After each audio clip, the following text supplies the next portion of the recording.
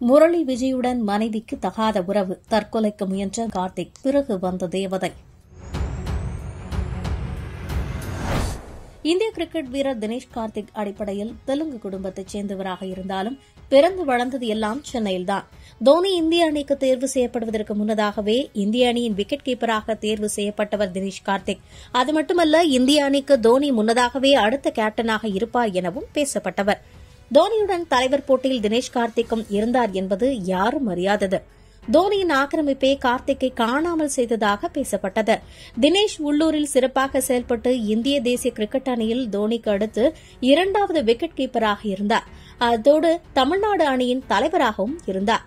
கிரிக்கெட்டில் பல ஏற்ற இறக்கங்களை பார்த்த தினேஷ் கார்த்திக்கின் காதல் வாழ்க்கையிலும் நிறைய ஏற்ற இறக்கங்களை சந்தித்திருக்கிறார். தனது இருபத்தி ஓராம் வயதிலேயே பள்ளிப்பருவம் முதல் தோழியாக இருந்த நிகிதா வெஞ்சுராவை மணந்து கொண்டார். தினேஷ் கார்த்திக்கின் அப்பாவும் நிகிதாவின் அப்பாவும் நெருங்கிய நண்பர்கள்.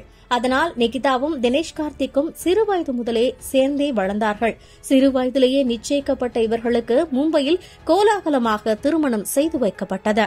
திருமணம் முடிந்து ஐந்து ஆண்டுகள் வரை நிம்மதியாகத்தான் வாழ்ந்து கொண்டிருந்தனர். ஆனால் நிகிதாவுக்கு கொஞ்சம் கொஞ்சமாக தினேஷ் மீது இருந்த காதலும் அன்பும் குறைந்து கொண்டே போனது. அதற்கு காரணம் சக வீரரான முரளி விஜய் தான்.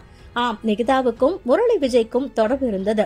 தினேஷ் கார்த்திக்கு தெரியாமலேயே இருவரும் நீண்ட நாட்களாக பழகி வந்தனர் பின்னர் ஒரு கட்டத்தில் மனைவியின் தவறான நடத்தை தினேஷ் கார்த்திக்கு தெரிய வந்தது.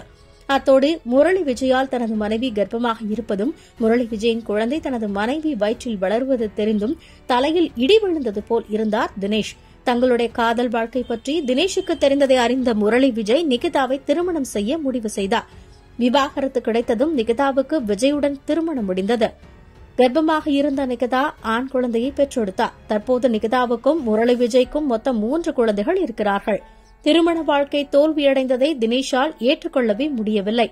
மன உளைச்சலுக்கு ஆளானதால் விளையாட்டில் தினேஷ் கார்த்திக்கின் செயல்திறன் குறைந்து இந்திய அணியில் இருந்து நீக்கப்பட்டார். ஐபிஎல் போட்டியிலும் தோல்வியடை தொடங்கிய தினேஷ் கார்த்திக் விரக்தி அடைந்து தற்கொலைக்கு முயன்றார்.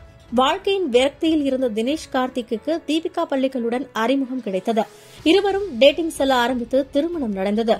தீபிகா தினேஷ் கார்த்திக் ஜோடிக்கு இரட்டை குழந்தை பிறந்தது. இதனையடுத்து இந்திய அணிக்காக இரண்டாயிரத்து பத்தொன்பதாம் ஆண்டு உலகக்கோப்பை தொடருக்கு தேர்ந்தெடுக்கப்பட்டார். இந்த நிலையில் நடப்பு ஐபிஎல் போட்டியில் ஆர்சிபி அணிக்காக விளையாடி வரும் தினேஷ் கார்த்திக் சிறப்பான ஆட்டத்தை வெளிப்படுத்தி வருகிறார். எல்லாவற்றிலிருந்தும் மீண்ட தினேஷ் கார்த்திக் இந்தியாவுக்கான பினிஷராக தன்னை மாற்றியமைத்துக் கொண்டிருக்கிறார். ஆர்சிபிக்கு முக்கியமான போட்டிகளில் வெற்றி பெற்றுக் கொடுத்திருக்கிறார். இதன் மூலம் அவர் டி டுவெண்டி உலக கோப்பைக்கு கூட தேர்வு செய்யப்படும் வாய்ப்பு இருப்பதாக தகவல் வெளியாகியுள்ளது.